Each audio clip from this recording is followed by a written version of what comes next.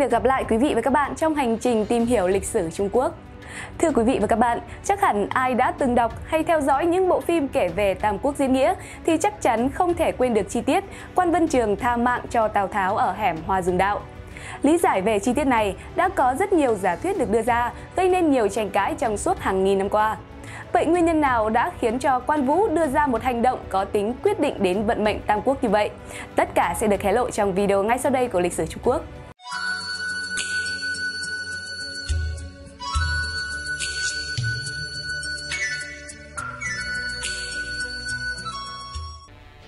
Mùa đông năm Kiến An thứ 13, tức năm 208, sau thất bại nặng nề ở Xích Bích, Tào Tháo dẫn tàn quân chạy trốn khỏi sự truy sát của liên quân Tôn, Lưu.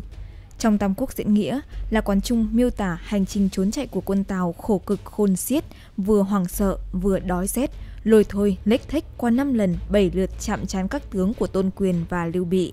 Đến hẻm Hoa Dung thì Tào Tháo chỉ còn hơn 300 quân mã, quần áo tả tơi. Quan Vân Trường nhận lệnh chặn Tào Tháo ở Hoa Dung. Nếu ra tay thì có thể dễ dàng triệt hạ giặc Tào. Nhưng cuối cùng ông đã vì đền nghĩa xưa mà tha cho Tào Tháo. Gia Cát Lượng rất giỏi nhìn người, chủ mưu tính kế như thần. Ông đã biết trước quan công nhất định sẽ nhớ ân nghĩa xưa mà thả Tào Tháo. Vậy vì sao Khổng Minh còn để Vân Trường chấn ở hẻm Hoa Dung? Hơn nữa, lại còn bắt ký tờ quân lệnh trạng, cam đoan rằng nếu để sổng Tào Tháo sẽ xử theo quân luật, tức chém đầu. Có nhận định cho rằng Gia Cát Lượng cố ý tha mạng cho Tào Tháo, bởi vì nếu Tào Tháo chết thì toàn bộ miền Bắc Trung Quốc có thể sẽ trở nên hỗn loạn. Tôn Quyền khi đó có thể nhân cơ hội này đánh úp Lưu Bị để chính thức bình định miền Nam. Trong khi đó, để Tào Tháo sống sót trở về sau trận xích bích sẽ làm tiền đề cho thế chân vạc hình thành, có lợi cho Lưu Bị. Cách lý giải này cũng được đưa vào lời Gia Cát Lượng trong phim truyền hình Tam Quốc Diễn Nghĩa vào năm 1996, nhưng trong nguyên tác Tam Quốc Diễn Nghĩa của La Quán Trung thì không nói như vậy. Sau khi Khổng Minh đăng đàn cầu được gió Đông Nam, đoán trước được ý đồ mưu sát của Chu Du nên đã sớm lên thuyền theo Triệu Tử Long về bên Lưu Bị. Ngay khi về đến Hạ Khẩu, Khổng Minh đã cắt đặt quân sĩ đón đường trốn chạy của Tào Tháo. Các tướng Triệu Vân, Trương Phi, Mi Trúc, Mi Phương, Lưu Phong, Lưu Kỳ lần lượt đều được giao nhiệm vụ cả. Bấy giờ, Vân Trường đứng cạnh, Khổng Minh không đả động gì đến. Vân Trường không sao nhịn được, nói to lên rằng Tôi từ khi theo anh, tôi đi đánh dẹp đến nay kể cũng đã lâu, chưa khi nào tôi phải lùi lại sau. Này gặp trận đánh to thế này, không thấy quân sư hỏi han gì đến là ý làm sao. Khổng Minh khi đó đã cười và nói rằng, Vân Trường đừng trách, tôi muốn nhờ tướng quân giữ cho một chỗ hiểm yếu, nhưng còn hơi ngại một chút, chưa dám phiền đến. Vân Trường ý hỏi Khổng Minh đang còn nghi ngại điều gì thì hãy nói ra để cả hai cùng bàn. Khổng Minh liền nói, khi xưa, Tào Tháo đãi tướng quân hậu lắm, thế nào tướng quân chẳng nhớ ơn. Nay Tào Tháo thua trận, tất chạy qua đường Hoa Dung. Nếu sai Túc Hạ đi, tất nhiên Túc Hạ tha cho hắn, bởi thế chưa dám phiền tới. Vân Trường lại nói, quân sư nghĩ thế thật là có bụng tốt. Khi xưa, Tào Tháo có trọng đãi tôi, nhưng tôi đã chém nhan lương, văn xú, giải vây thành bạch mã để báo ơn rồi. Này nếu có gặp y, tôi đâu dám dễ dàng tha y được. Khổng Minh nói, nếu tướng quân tha thì làm sao? Vân Trường liền tỏ ý thuận theo quân luật. Tuy nhiên, Khổng Minh lại cho rằng nếu tha thì nhất định phải có giấy cam đoan. Vân Trường xin ký giấy cam đoan rồi hỏi lại rằng Tào Tháo không chạy qua đường ấy thì quân sư dạy thế nào? Khổng Minh bèn nghĩ ra kế cho rằng tướng quân nên tìm núi nào cao ở đường hẻm Hoa Dung, sau đó tìm cỏ về và chất cỏ đốt lửa lên để rủ quân Tào đến. Nhưng Vân Trường lại cho rằng nếu Tào Tháo nhìn thấy lửa sẽ nghĩ chỗ đó có mai phục nên cho rằng quân Tào nhất định sẽ không đến. Lúc này khổng Minh cười và nói Tướng quân không nhớ trong binh pháp có câu Hư hư thực thực đó sao Tháo giỏi dùng binh Có thế mới lừa được hắn Hắn trông thấy lửa cho là ta hư trương thành thế tất nhiên tìm đến lối đó, tướng quân không được thả cho hắn đi. Vân Trường lĩnh mệnh dẫn Chu Thương, Quan Bình và 500 quân đao phủ ra đường Hoa Dung mai phục. Huyền Đức nói nhỏ với Khổng Minh rằng, em tôi là người nghĩa khí lắm, nếu Tào Tháo quả nhiên đi qua đó, chỉ sợ em tôi lại tha mất thôi. Khổng Minh thưa, tôi xem thiên văn biết số Tào Tháo chưa chết nên mới để một mối tình nghĩa ấy cho Vân Trường làm cũng là một việc hay. Huyền Đức nói, tiên sinh mưu kế như thần, trên đời hiếm có. Lý do thực sự chính là Khổng Minh đã biết mệnh trời chưa tuyệt với Tào Tháo, ý trời còn để Tháo sống để diễn tiếp màn kịch lịch sử tam phân thiên hạ, nên dẫu thiên binh vạn mã cũng không đoạt nổi mạng họ Tào. Gia Cát Lượng là người tu đạo, trên thông thiên văn, dưới tường địa lý. Trong Tam Quốc diễn nghĩa, nhiều lần ông trực tiếp nói ra sự tin tưởng vững chắc ở mệnh trời. Trước đó, khi Chu Du bày mưu lệnh cho ông phải chuẩn bị xong 10 vạn mũi tên trong thời gian ngắn, Gia Cát Lượng đã dùng kỳ kế thuyền cỏ mượn tên khiến Lỗ Túc và Chu Du phải kinh ngạc và bội phục. Khổng Minh nói, công cần hạn cho ta 10 ngày mà thuyền thợ, đồ dùng không có gì đủ, trực đem một tội lỗi nhỏ để hại ta, nhưng số mệnh ta đã có trời, hại làm sao nổi. Hay như sau này, lúc Ngụy Diên đã giữ được Tư Mã Ý vào hang có phục sẵn địa lôi và các đồ dẫn hỏa, trời bỗng dưng chút cơn mưa, Tư Mã Ý thoát chết. Khổng Minh nói, mưu việc tại người, thành việc tại trời, không sao cưỡng được. Và lúc Ngụy Diên làm tắt mất ngọn chủ đăng trong lễ dâng sao dài hạn, cầu gia tăng thọ mạng của chính mình, Khổng Minh không hề oán giận Ngụy Diên, chỉ nói sống chết có số, không làm sao mà nhưng trừ được. Và đó là số ta đến ngày hết, không phải lỗi tại văn trường. Gia Cát Lượng trong lịch sử quả thực là người có khả năng nhìn thấu mệnh trời. Bộ dự ngôn nổi tiếng Mã Tiền Khóa của ông dự báo các sự kiện trọng đại bắt đầu từ thời Thục Hán, một mạch đến Trung Hoa Dân Quốc và cả về sau, phi thường, chuẩn xác. Ngay trong khóa đầu tiên của Mã Tiền Khóa, Gia Cát Lượng đã biết trước Thục Hán cuối cùng bị nước ngụy tiêu diệt. Biết là như vậy, nhưng ông vẫn quyết định xuống núi phò tá Lưu Bị để đền ơn tri ngộ, để đảm nhận vai diễn lịch sử trung nghĩa tận tụy này. Đọc Tam Quốc diễn nghĩa, ta thấy khổng Minh suốt một đời ung dung tự tại. Trong khảo nghiệm sinh tử và cọ sát tâm tính, ông luôn giữ thái độ bình tĩnh, thản nhiên là bởi ông từ lâu đã nhìn thấu mệnh trời. Văn hóa truyền thống phương Đông là tôn kính trời, người có quyền lực cao nhất là hoàng đế cũng chỉ tự nhận mình là thiên tử, tức là con của trời, phải thuận theo ý trời mà hành sự. Đó là nền văn hóa khiêm cung, lễ nhượng, nhận thức đúng đắn về vị trí của con người trong vũ trụ. Con người là một tế bào nhỏ trong cơ thể vũ trụ rộng lớn. Vũ trụ có quy luật vận hành là điều mà các pháp môn tu luyện xưa nay gọi là đạo, là pháp. Người tu đạo chính là thuận theo quy luật của vũ trụ mà tu sửa bản thân, hiểu được ý trời, làm người, làm việc có đạo đức. Gia Cát Lượng kỳ tài cái thế, mưu trí siêu quần, nhưng ông biết mình vĩnh viễn không thể trái lại ý trời.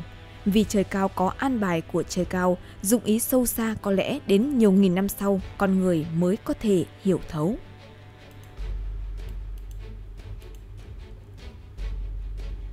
Liên quan đến điển tích quan vũ tha chết cho Tào Tháo ở Hoa Dung Đạo, từ xưa đến nay đã có rất nhiều cách diễn giải. Có người cho rằng Tào Tháo số chưa tận, thiên bất vong.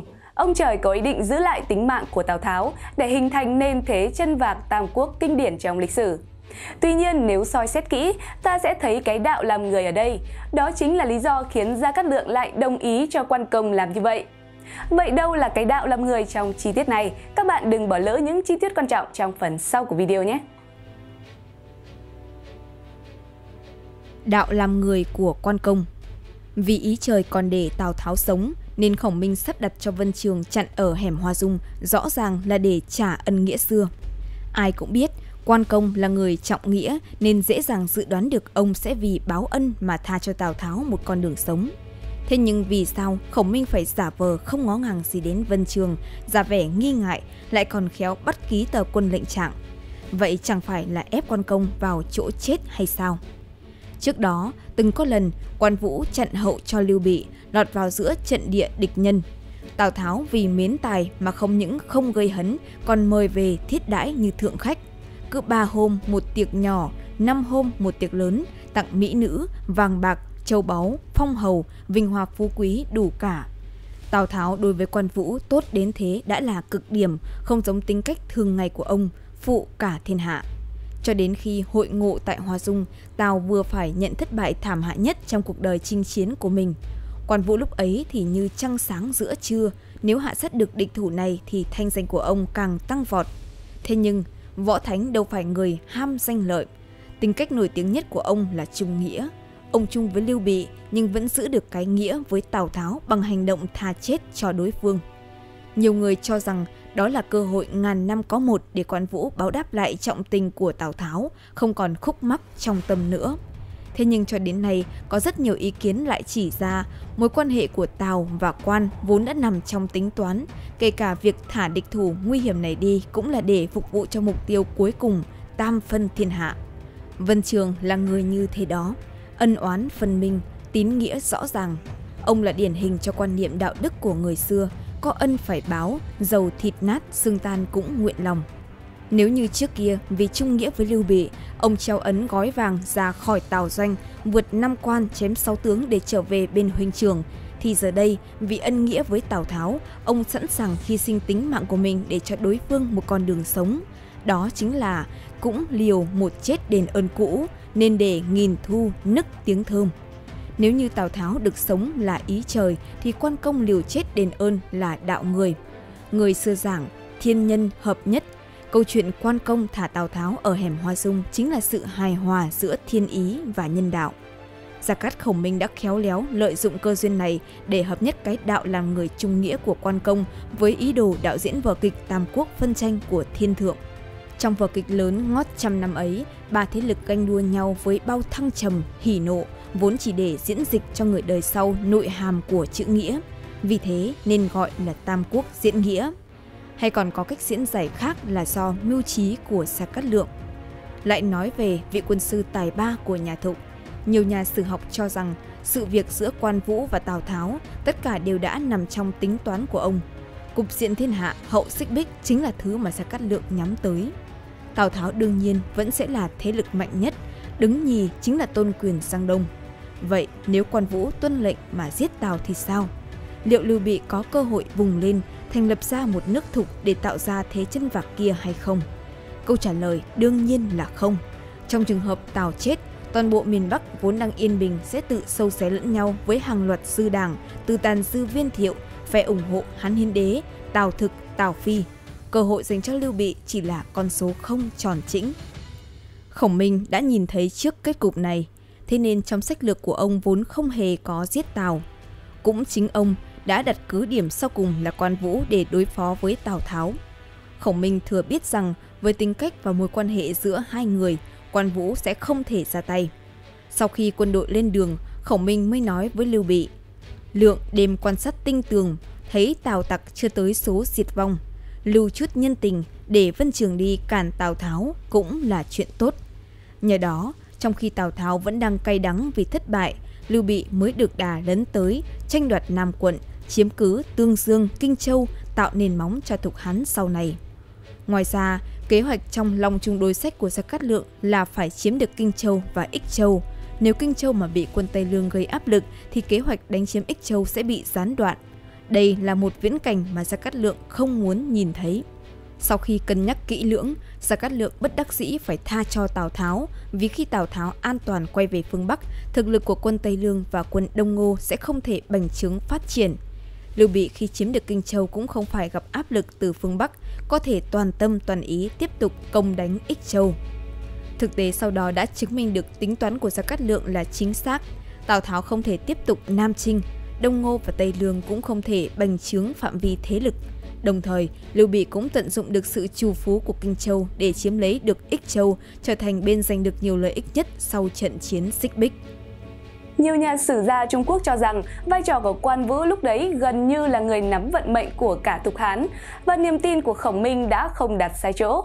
Thế mới thấy mưu trí của nhà quân sư tài ba tới mức nào. Tới đây thì video của lịch sử Trung Quốc cũng xin phép được khép lại. Cảm ơn quý vị đã quan tâm theo dõi. Xin chào và hẹn gặp lại trong các video tiếp theo.